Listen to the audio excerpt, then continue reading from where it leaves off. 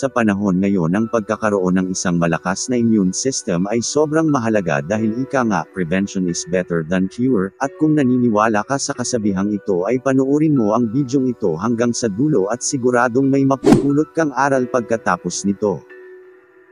Gayunpaman, ang isang malusog at balancing dieta ay may mahalagang papel upang ma-maintain ang malakas na immune system, isang mabisang paraan upang makaiwas sa mga sakit dahil minsan nakakalimutan natin na ang malusog na pangangatawan ay nagsisimula sa wastong pagkain at pag-e-ehersisyo. Kaya't samahan mo ako't ating talakayin ang sampung mga pagkain na nakakatulong upang palakasin ang ating immune system. Handa ka na ba? Kaya't simulan na natin. Number 10, Blueberry. Ang blueberry ay may katangian ng antioxidant na maaaring mapalakas ang immune system. Naglalaman ito ng isang uri ng flavonoid na tinatawag na anthocyanin, na may mga katangian ng antioxidant na nakakatulong upang mapalakas ang immune system ng isang tao. Alam mo ba? Isang pag-aaral na isinagawa noong 2016 na ang ang flavonoid ay may mahalagang papel sa immune defense system ng respiratory tract. Natuklasan ng mga mananaliksik na ang mga taong kumain ng mga pagkaing mayaman sa flavonoids ay may maliit ang chance na makakakuha ng upper respiratory tract infection o karaniwang sipon kaysa sa mga hindi. Number 9, Dark Chocolate. Naglalaman ng dark chocolate ng isang antioxidant na tinatawag na theobromine, na maaring makatulong upang mapalakas ang immune system sa pamamagitan ng pagprotekta sa mga sel ng katawan mula sa mga free radicals. Naglalaman ng dark chocolate ng maraming mga compound na nagtataglay ng mga katangian ng antioxidant tulad ng flavonols at polyphenols. Ang antioxidant ay nagpapawalang bisa sa mga free radicals at maiwasan ang oxidative stress. Ang oxidative stress ay tumutukoy sa pinsala na maaring magdulot ng labis na dami ng mga free radicals sa mga cell at tissue sa katawan. Ayon sa pag-aaral ang dark chocolate ay nakapagpababa ng panganib ng hindi regular na tibok ng puso dahil sa ito ay naglalaman ng mataas na antas ng mga flavonoid na katulad din sa blueberry, isang uri ng antioxidant na maaring maprotektahan ang ating mga sel mula sa pinsala at mabawasan ang pamamaga. Number 8, Turmeric.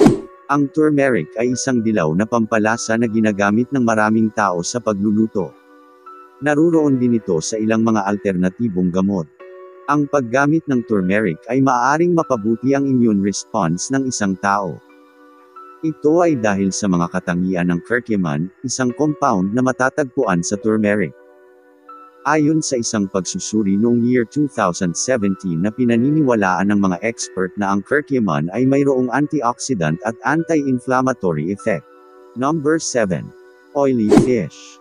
Ang oily fish ay nalink sa maraming mga benepisyo sa kalusugan, kabilang ang isang mas mababang panganib sa sakit sa puso, pinabuting kakayahan sa pag-iisip at proteksyon mula sa cancer. Naglalaman ang langis ng isda ng dalawang fatty acid, icosapentaenoic acid EPA, at docosahexaenoic acid DHA. Ito ay pinaniniwalaan na makikinabang sa cardiovascular system.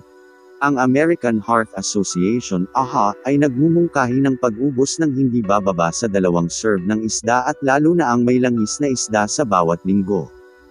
Ang paghahatid ay 3.5 ounces ng lutong isda o halos tatlong kapat ng isang tasa ng flake fish. Ang salmon, tuna at iba pang may langis na isda ay isang mayamang mapagkukunan ng omega-3 fatty acid.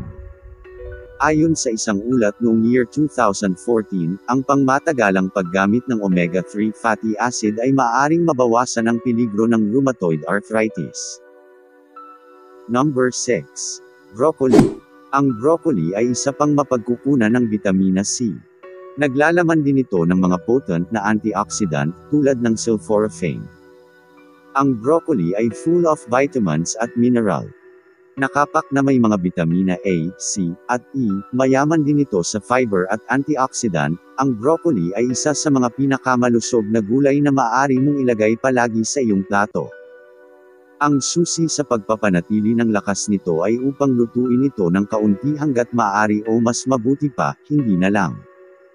Ayon sa mga expert ang steaming na pamamaraan ay ang pinakamahusay na gawin upang mapanatili ang mas maraming nutrisyon sa pagkain, talaga namang nakakatulong ito upang palakasin ang immune system ng isang tao.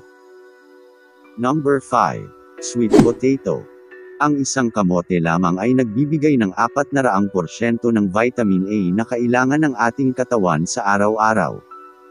Nakakatulong ito na ma-maintain ang malusog na pangangatawan at mapatibay na rin ang iyong immune system.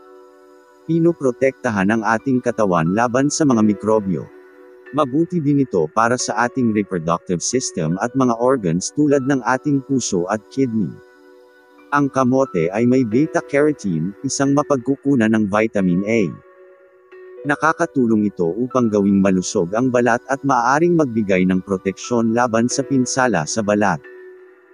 Ang kamote ay pinangalan ng superfood sapagkat mayroon itong carotenoids isang natural na compound na nakapagpababa ng panganib para sa cancer. Number 4. Spinach. Maraming dekada na ang nakakaraan ng sumikat ang cartoon character na si Popeye.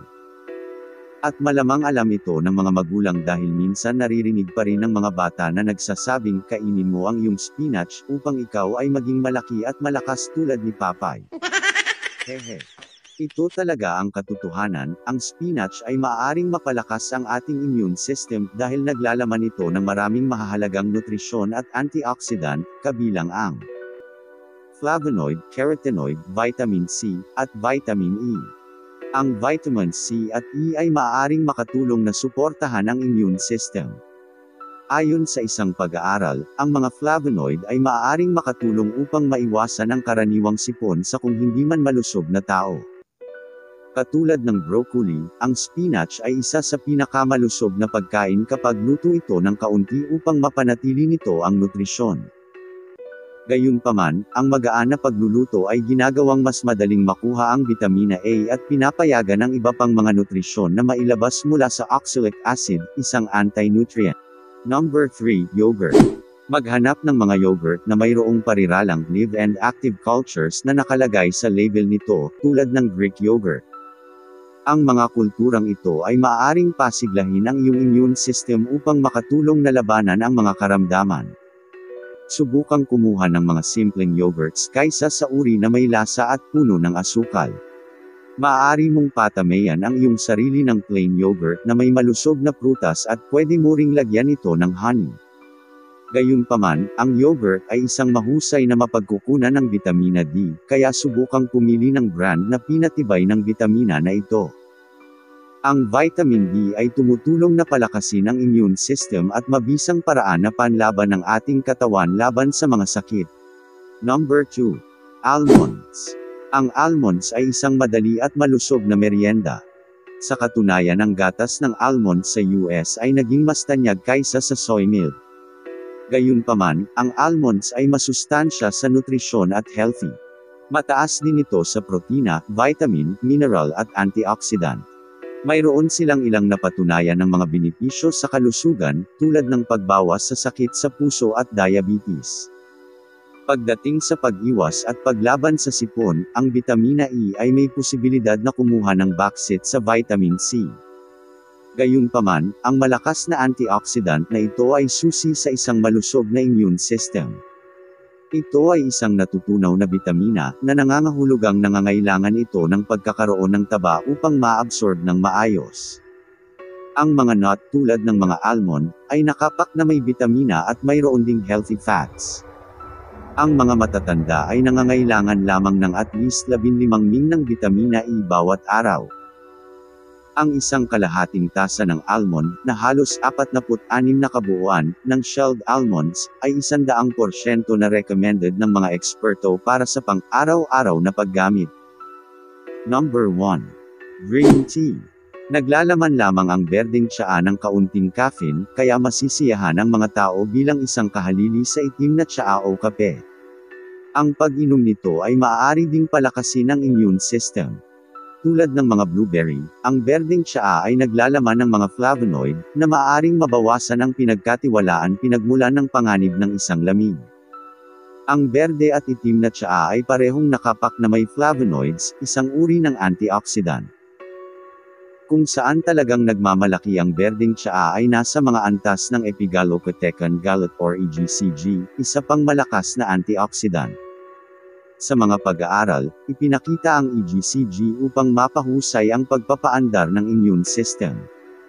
Ang fermentation process ng itim na tsaa ay lumalabas na sumisira sa maraming EGCG.